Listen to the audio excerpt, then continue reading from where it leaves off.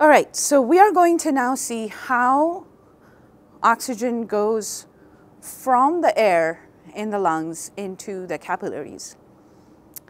In this picture, this is showing you a little corner of an alveolus, okay? This is a little uh, corner of that little balloon that I talked about. And these represent the squamous epithelial cells, the really, really flat epithelial cells. This is a capillary. I know it doesn't look like blood here. I don't have any of the blood cells here. Let's pretend there is just plasma, okay? And plasma is not red.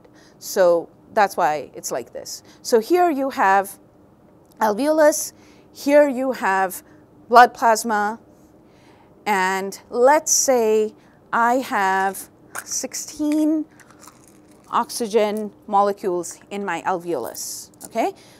These white buttons represent 16 oxygen molecules. 1, 2, 3, 4, 5, 6, 7, 8, 9, 10, 11, 12, 13, 14, 15, 16. Okay, so I have 16 here. Um, remember the principles of concentration gradient. Things go from high concentration to low concentration, down the concentration gradient until there is equilibrium. So I have 16 here, I have zero here. So it'll keep moving into the blood just down the concentration gradient until there is equilibrium.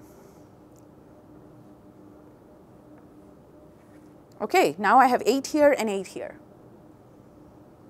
So no more oxygen will move. But my body needs a lot more oxygen. The more oxygen I have, the more cellular respiration I can do. So here we have arrived at equilibrium, so movement will stop. But I want to have the concentration gradient.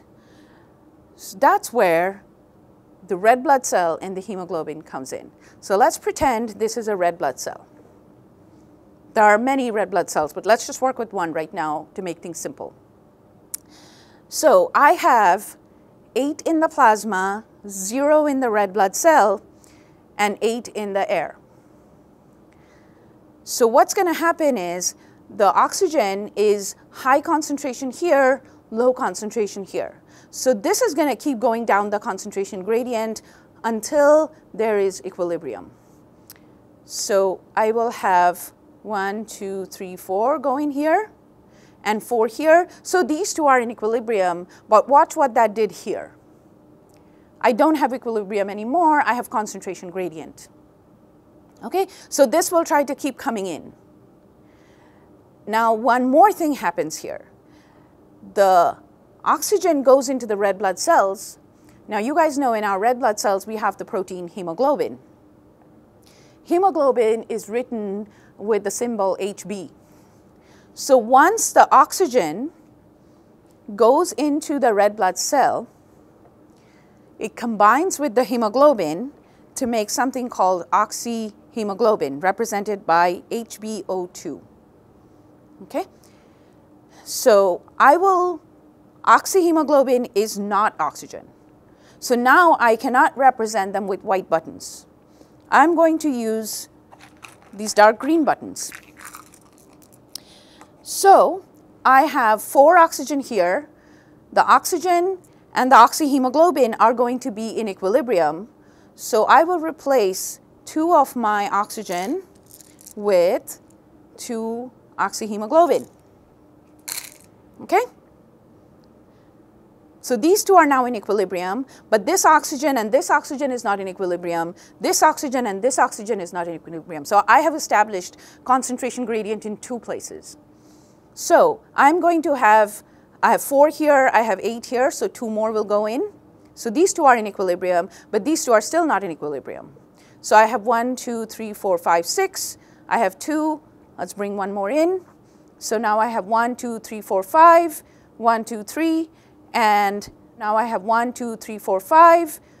So if you can imagine, um, as oxygen comes in here, it will keep binding with the hemoglobin and making oxyhemoglobin as the oxygen level drops here, more oxygen is going to come in here.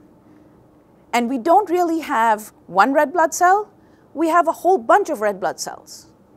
And so a lot more oxygen can come in. Remember, when we did not have the red blood cell, we could only get eight over here, and we still had eight in the air. What having the hemoglobin did was it allowed me to maintain concentration gradient, and so it allowed me to take more oxygen into my blood. Okay, for us, we are warm-blooded organisms. We need to maintain our body temperature, and that costs a lot of energy. So we need to make a lot of ATP, and so we um, have to have a lot of oxygen into our blood, and that's why we have hemoglobin. So the role of hemoglobin in the blood is to maintain concentration gradient, is to prevent equilibrium of oxygen. And so I want you to relate to this to what you have learned about, uh, we have talked about um, anemia. If people don't have enough iron in their diet, then they can get something called iron deficiency anemia, in which case they don't make enough hemoglobin in their uh, red blood cells, or they don't have enough hemoglobin in their red blood cells, and so they cannot establish this concentration gradient as much. They don't get as much oxygen, so they can't make as much energy, and so they are tired. All right? So that shows you how hemoglobin helps maintain concentration gradient of oxygen.